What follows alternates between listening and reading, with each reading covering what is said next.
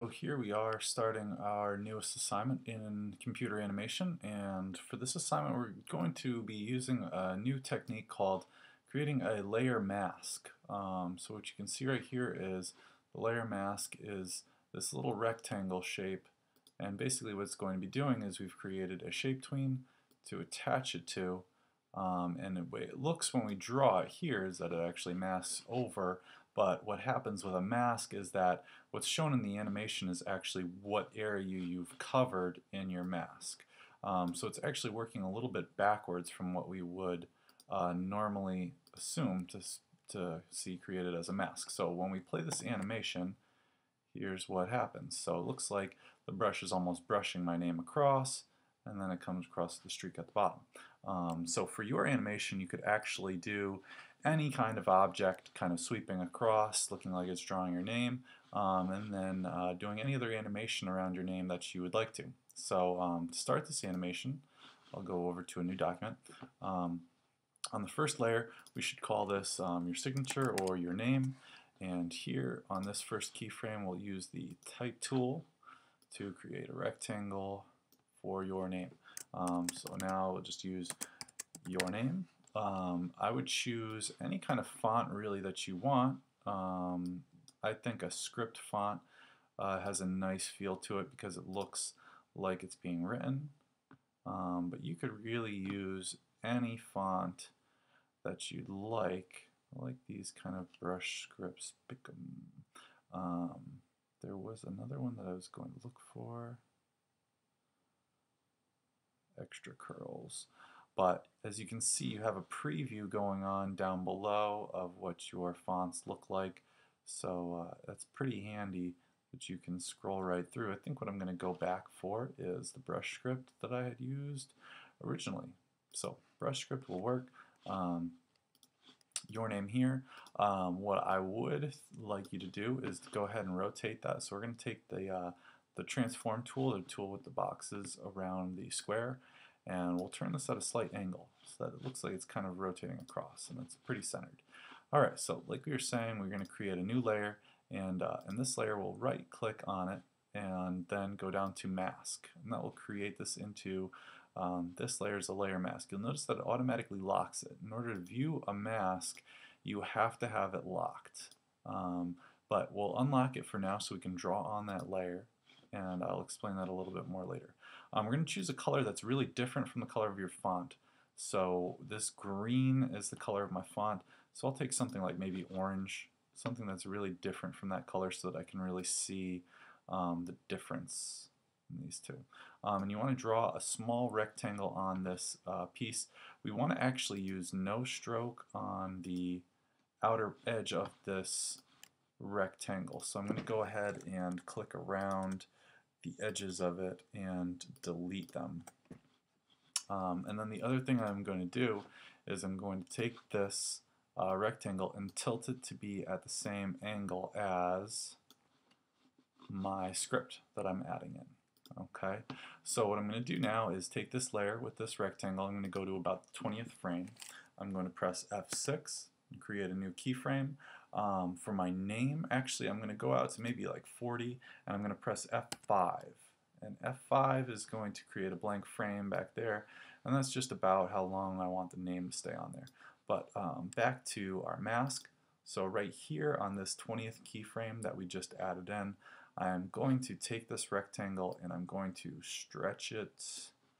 Um, actually, maybe what I'll do here is I'm going to take this edge this before, I think. Oh, okay, so maybe I have to pull from the corners. Anyway, what I need to do here, I think it's because I tilted it first. So what I'm going to do is actually untilt. I'm going to click off of that.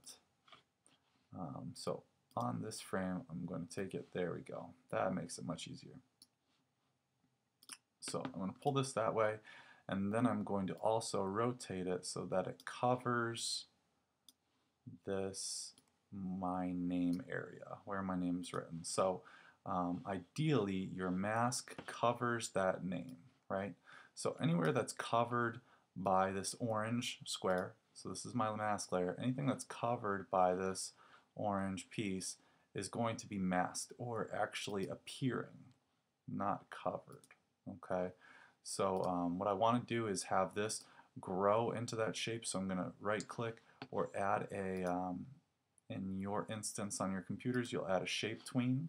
All right, and so that shape tween will have that rectangle grow from the small one to the large one. And so if I was to preview this, it should look like your name, slowly unveiling itself across the stage. So as you can see, the mask is starting over here, and then it's growing to here so that you're revealing that. So anywhere where you draw on a mask layer is going to be revealed in the end. Um, so once you have that point um, done in your uh, in your project, I want you to add something else to this to make it about you. So what I'm going to add in is like from my first file, I'm going to go to my signature file in my library and I'm going to pull in this um, paintbrush graphic that I made on my original. Um, and actually what I'm going to do is I'm going to undo that. I'm going to create a new layer for it and I'm going to call this brush. Um, and like I said, you can choose anything for this layer. Um, you could have any kind of object kind of sweeping in, sweeping across, um, being a part of your animation.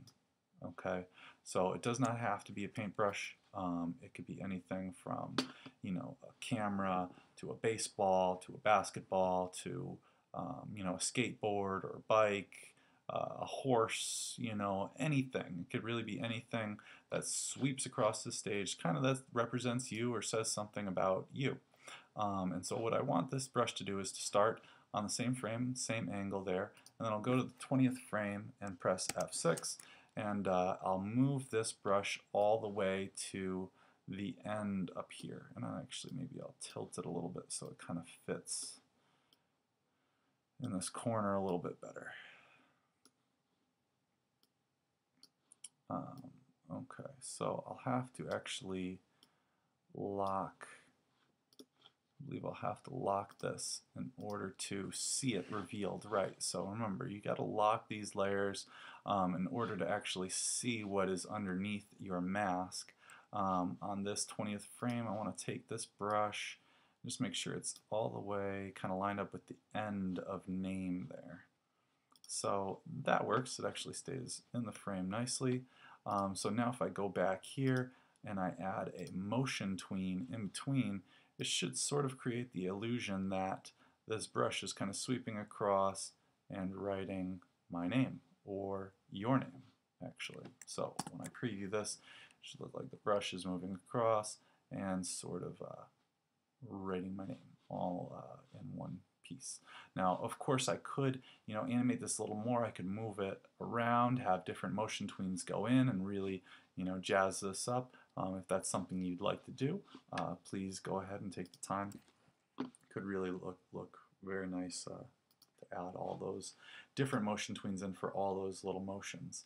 Um, and then what I did have at the end of mine uh, was also a um, a sweep kind of coming across. So what I'll do is add another layer. Um, I'll pull it underneath here, and I'm going to call this uh, paint and what I'm going to do on this layer is I'm actually going to uh, draw in this paint sweep that kind of comes across the bottom. So I'll create a new keyframe on this frame. Um, actually where I want this to be is on the next frame, or maybe two later. Uh, here I'm going to also create a new keyframe right above it. And what I want this brush to do now is to rotate. And I'd like it to maybe come to right about this point here and then it's going to streak across and create a, uh, a streak behind it. So essentially what I'm going to do is, um, is I'm going to move this brush along.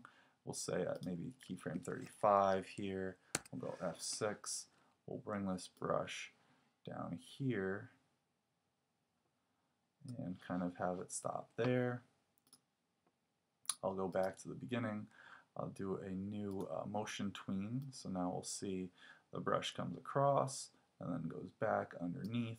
And underneath there, like I said, on these keyframes, I'm going to start drawing um, the line underlining your name, or my name, or whoever's name happens to be in this.